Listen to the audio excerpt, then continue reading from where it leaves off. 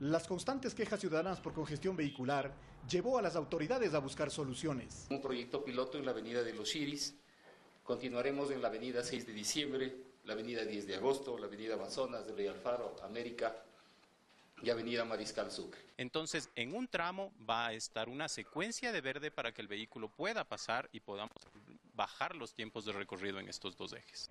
La Secretaría de Movilidad, la Agencia Metropolitana de Tránsito y la Empresa Pública de Movilidad coordinan esfuerzos para una mejor circulación vehicular. Pedir a la ciudadanía que, respeten las intersecciones de las vías principales donde vamos a tener la hora de verde, porque claro, eh, la idea es que los vehículos fluyan. Ahora vamos a dar una prioridad a estas vías longitudinales para que se, se, note esta secuencia de la verde y en este viaje, digamos, longitudinal de la ciudad se bajen los tiempos.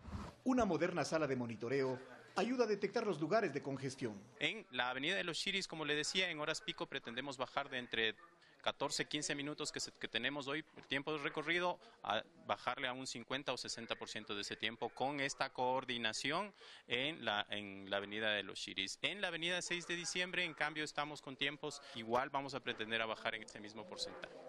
Para fortalecer este proyecto, un aproximado de 150 policías metropolitanos realizarán tareas de apoyo. Para vecinos en TV, Orlando de la Cruz.